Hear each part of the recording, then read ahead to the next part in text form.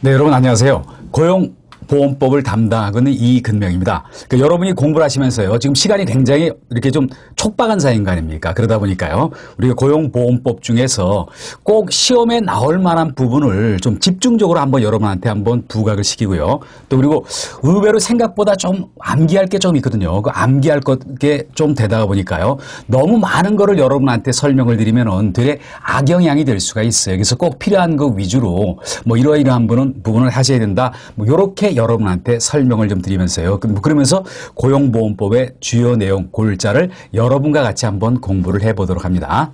그래서 본론에 들어가기 전에 뭐 잠깐 얘기를 드리면요.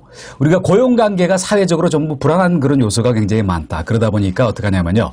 국가가 주도적인 역할을 해서 뭔가 어떤 뭐 앞으로 벌어질 어떤 실업이라든지 이런 거에 대해서 대비하고 또 각종 어, 교육, 을 실시하게끔 하고요. 또 실업에 어떤 어, 당한 사람에 대해서는 거기에 합당하게 생활할 수 있는 일자리를 구할 동안까지 생활할 수 있는 급여를 지급하고 뭐 이런 내용들을 주 골자로 하고 있는 게 바로 여기 나와 있는 고용보험법의 내용이라는 거죠. 이제 그러면서 교재에 있는 내용, 중요한 내용을 하나씩 한번 정리를 한번 해봅니다. 그래서 먼저 가장 먼저 나왔냐면요. 이 법의 재정 목적이 뭐다 하는 게 가장 먼저 나왔어요. 근데 이런 거는 우리가 고용보험법뿐만 아니라 다른 법들도 그 법의 일조에서 그 법을 제정한 목적이 뭔가 이게 나왔다는 거 아닙니까? 그래서 이 목적을 보게 되면 뭐냐면요. 고용보험법이 추구하고 하고자 하는 방향, 또 그 내용 이런 따위를 여기서 설명해 놨다는 거 아닙니까? 그래서 뭐라고 나왔죠? 이 법의 목적 중에서도 내용과 관련되는 내용들은 뭐였냐면요. 이런 내용을 우리가 여러분과 같이 공부한다는 거 아닙니까? 실업의 예방 이런 얘기가 있었죠. 실업의 예방. 아직 실업자가 발생은 안 했지만 사회가 날로 복잡해지고 어떤 경제 구조라든지 경제 상황의 변경이 변화가 크다 보니까요. 언제 실업이 되, 실업자가 될 수가 있을 수도 있어요. 뭐 여러분이라든 누가 누구든 될 수가 있어요. 그러다 보니까 실업을 예방을 한다. 아직 벌어지진 않았지만 앞으로 일어날 거에 대해서 대비를 한다는 거 아닙니까? 그리고 뭐냐면요. 그것뿐만 아니라 고용을 촉진한다. 자꾸 뭐 일자리를 만들, 만들게끔 하고 또 고용이 일어나도록 촉진한다. 그리고 그 다음에 어떤 얘기가 있냐면요. 실업을 예방하고 고용을 촉진한다. 그러기 위해서 뭐를 하냐면요.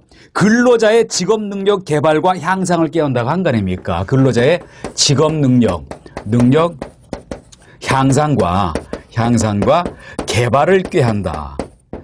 근로자한테 꾸준히 직업 능력 향상할 수 있는 그런 어떤 프로그램에 의해서 교육을 시킨다. 내가 이 직장에서 끝나더라도 다른 직장으로 가서 근무할 수가 있게 한다. 이런 내용들을 여기서 담고 있다는 거 아닙니까? 그러면서 뭐냐면요. 어떤 직업 소개 기능 등도 강화하면서 조금 더 나가서 한번 예를 들면 어떤 얘기냐면요. 근데 여기까지는 지금 뭔가 예방적 차원이 컸었잖아요. 그런데 이제 실업자가 발생한 다음에는 거기 합당한 조치가 있어야 될 거 아닙니까? 그래서 뭐냐면요.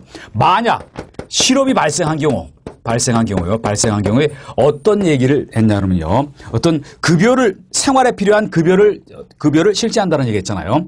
생활에 필요한 생활에 필요한 필요한 급여를 실시한다. 지금 한번 이렇게 여러분 생각해 봅니다. 뭐 어, 근로 자의 경우에는 물론 뭐 충분히 저축이 된 분도 있고 안 된 분들도 있는데요. 근데 지금 뭐 이렇게 급여 수준이 과히 높지 않은 그런 집단도 많다가 보니까 내가 지금 저축금도 얼마 없어요. 그런데 실업이 발생했다. 그러면 당장 뭐 지금 생계에 직접적인 타격이 올 거 아닙니까? 그러다 보니까 실업이 발생했을 때 생활에 필요한 급여까지 실시를 한다. 이렇게 함으로써 뭐 그 다음에 안 씁니다. 그렇게 함으로써 뭐라고 했죠? 생활 안정과 구직 활동을 촉진한다. 근로자가 실직한 근로자가 편안하게 직장을 구할 수 있도록 어떤 생활 안정과 구직 활동을 촉진한다. 그래서 결국 궁극적인 목적이 뭐였죠? 마지막에 이런 것 등을 통해서 뭘 했냐면요. 경제 사회 발전에 이바지하는 것을 목적으로 한다는 얘기 한 거 아닙니까? 경제 사회 발전에 발전에 이바지하는 것을 목적으로 제정한 법이 바로 여기 나와 있는 우리가 같이 공부할 고용보험법의 내용이다 이렇게 여러분 봅니다. 물론 나중에 문제를 할 때 여러분하고 한번 이렇게 다뤄보겠지만요. 이렇게 각종 법의 목적을 물어볼 때는요. 이 법의 제정 목적 아닌 걸 찾아라 그래 놓고 다른 데서 하나 갖고 끼어 들어와요. 그런데 만약 이런 내용에 하나라도 집어넣고 만약 산업재해 이런 거 나오면 그건 아닌 거 아닙니까? 그건 바로 별도의 법이 있어요. 그래서 그런 의미로서 요걸 한번 보시길 바랍니다. 아, 그리고 항상 그 다음에 뭐냐면요. 해당 법에서 사용하는 각종의 용어라는 게 있어요. 그래서 그 용어에 대해서 이렇게 여기 정의를 내려놨다는 거 아닙니까? 뭐 저는 한번 이렇게 생각해요. 물론 다른 부분도 다 중요해요. 그렇지만 무슨 법이 됐든지 간에 그 법의 용어는요. 아주 기본 중에 기본이에요. 기초라는 거 아닙니까? 그래서 용어의 정의에 대해서는 아주 키워드만을 한번 봅니다. 뭐 여기서 뭐가 나왔죠? 피보험자에 대해서도 나왔죠? 한번 타이틀만 먼저 한번 써봅니다. 피보험자에 대해서 나왔고요. 그리고 그 다음에 뭐가 있냐면요. 이직. 이직.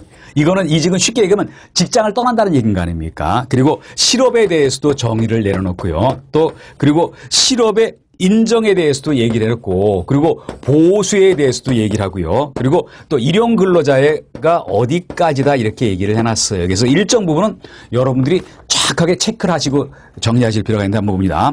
피보험자에 대해서 뭐라고 됐죠? 한번 여러분 봅니다.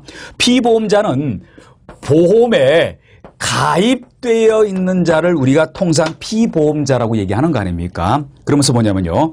이렇게 여기 보면요. 피보험자는 가장 대표적인 거는 가장 대표적인 거는 어떠냐면요. 가장 대표적인 거는 근로자가 가장 대표적인 거 아닙니까? 근데 여기 조심하세요.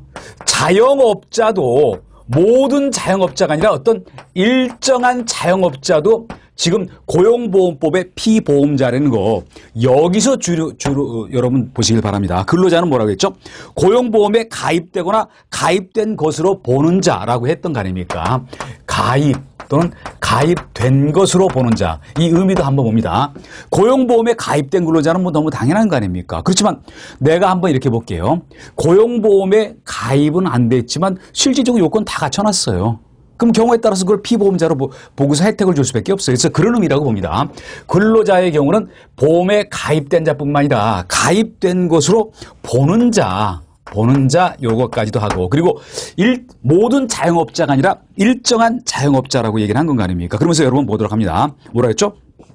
근로자를 사용하지 않거나 자영업자인데 자기 근로자 없이 혼자서 내가 대표인 경우도 있는 거 아닙니까? 그래서 근로자를 사용을 하지 않거나 않거나 이래도 여기 있는 자영업자 피보험자에 해당되고요. 그리고 그 두 번째를 보도록 그 다음에 봅니다. 뭐라고 얘기를 했죠? 50명 미만의 근로자를 사용하는 사업자라고 얘기한 거 아닙니까? 50명 미만의 미만의 근로자를 사용하는 사용하는 사업 주 자영업자가 그렇다는 거 아닙니까? 그래서 여기 나는 50명 미만이라는 숫자는 꼭 정리를 여러분 해보시기를 바랍니다. 뭐 그런 의미로 얘기를 드렸거든요. 뭐 그리고 한번 봅니다. 뭐냐면요. 근데 한번 여러분 이럴 수도 있잖아요.